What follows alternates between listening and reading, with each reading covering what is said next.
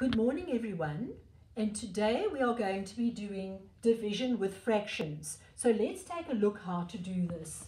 Now we have done many um, like this first one before. A half of 12 packets of sweets. Okay, we've done many of those. So what we do is we divide by our denominator, right? Okay, so we know that 2 goes into 12. We know that it goes 6 times and because of our tables, right.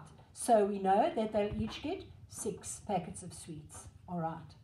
Now let us go to the next one because now when we're doing fractions and you have a remainder, you, there's a special way we have to do this.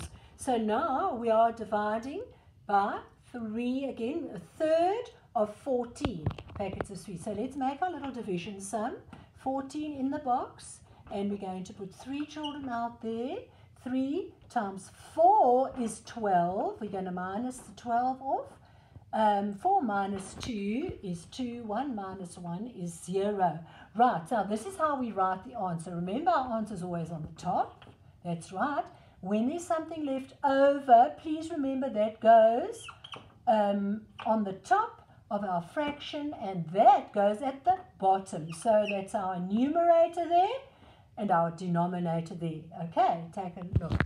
Right, next one. Here we've got 24 divided by 4. Now that one we know is going to work out nicely, so it's just going to be 6. So our answer will then be 6 packets. Right, now let's look at 1 sixth of 26. Let's see what happens over here. Right, we put 26 in the box. We put our 6 outside the box. We're going to divide. According to our tables, we know 4 times 6 gives us 24. Right, so let's minus. 6 minus 4 gives us 2. Right, so that's our remainder. This is our answer here. 4. And remember, this number here that's left over goes on top of our fraction. And this is the denominator. So the numerator and the denominator of our fraction. The last one here. Okay, so this is E here.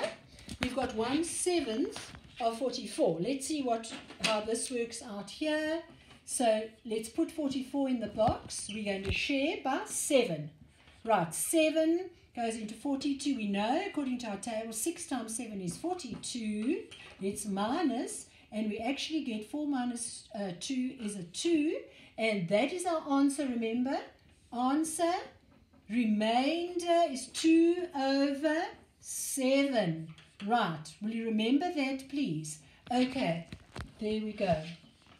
And um, so I hope that you are going to remember exactly how to do your dividing with fractions today.